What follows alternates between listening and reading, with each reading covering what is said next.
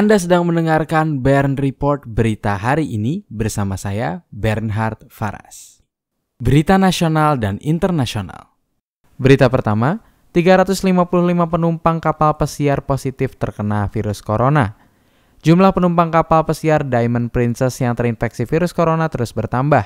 Saat ini, kapal tersebut sedang dikarantina di pelabuhan Yokohama dekat Tokyo. Menteri Kesehatan Jepang, Katsunobu Kato, menerangkan jumlah orang yang positif terjangkit virus corona telah bertambah hingga 355 penumpang. Sebelumnya, dikabarkan terdapat 285 penumpang kapal pesiar Diamond Princess yang terjangkit virus corona. Rencananya, mereka akan dikarantina hingga tanggal 19 Februari 2020. Berita kedua, Australia perpanjang larangan kunjungan orang dari Cina. Pemerintah Australia memperpanjang masa larangan kunjungan bagi orang-orang yang pernah berkunjung ke Cina selama seminggu ke depan. Langkah ini menyusul jumlah korban meninggal akibat virus corona yang merebak di Cina semakin bertambah. Perdana Menteri Australia, Scott Morrison, menyebut langkah ini juga merupakan upaya untuk melindungi warga Australia dari risiko virus corona. Sampai saat ini tercatat ada 15 orang yang positif tertular virus corona di Australia. Negara tersebut menjadi salah satu dari 58 negara yang menerapkan larangan kunjungan orang yang telah berpergian ke Cina. Berita ketiga, Turis Amerika Serikat di Malaysia positif tertular virus corona. Kementerian Kesehatan Malaysia mengungkap seorang wisatawan Amerika Serikat positif terinfeksi virus corona. Ia menjadi penumpang kapal pesiar WS Westerdam yang berlabuh di Kamboja pada tanggal 13 Februari 2020. Sebelumnya, dilaporkan kapal pesiar tersebut diperbolehkan berlabuh di perairan Kamboja setelah ditolak oleh empat negara. Beberapa negara menolak kapal tersebut karena khawatir wabah virus corona. Berita keempat, warga perumahan Batan Indah akan jalani pemeriksaan kesehatan terkait radiasi nuklir. Warga perumahan Batan Indah Serpong Tangerang Selatan akan menjalani pemeriksaan kesehatan terkait paparan radiasi zat radioaktif cesium 137.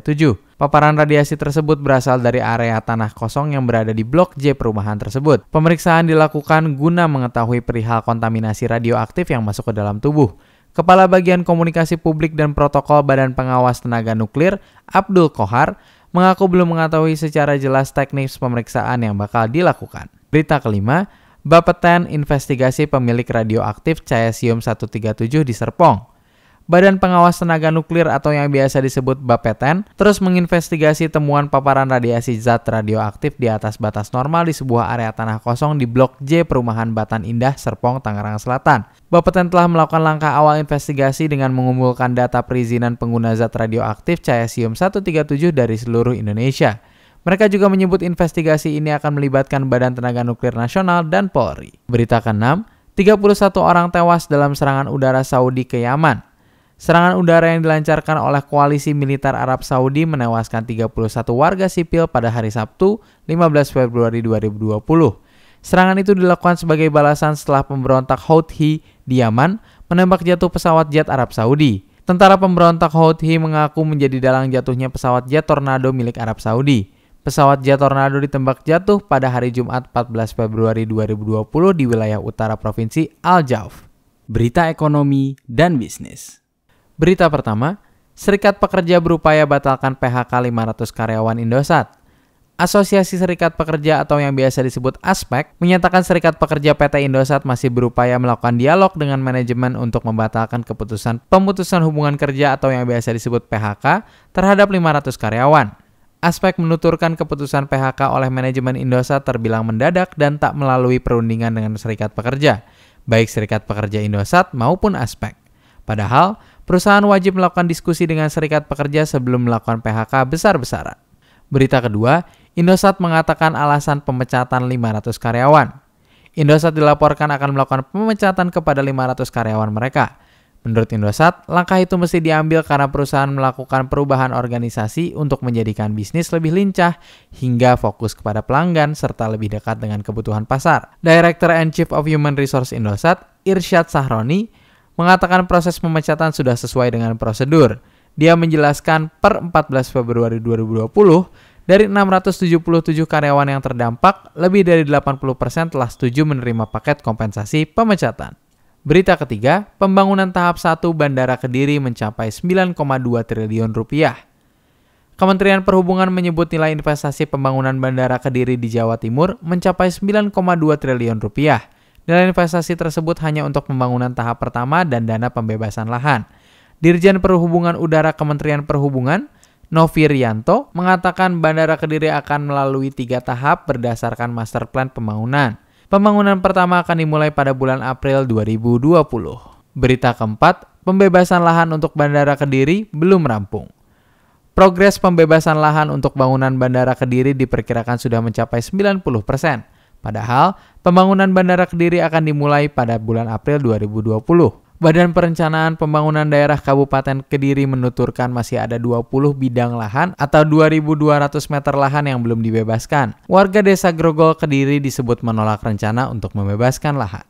Berita kelima, Serikat Buruh tolak draft Omnibus Law Cipta Kerja.